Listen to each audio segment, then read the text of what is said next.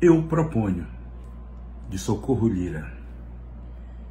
Eu proponho que o ministro das Relações Exteriores, ao invés de produto interno bruto, trate bem das questões interiores, essas tantas isentas de tributo.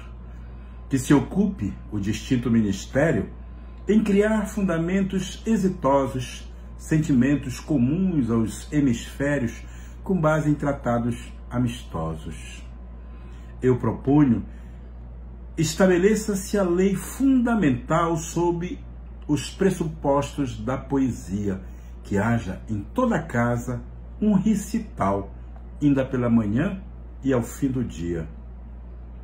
E que toda criança em formação conheça com prazer um instrumento e aprenda a tocar com emoção os acordes do Santíssimo Invento.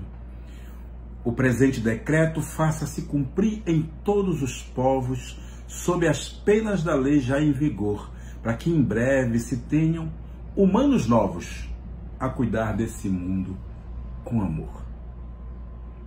Que assim seja.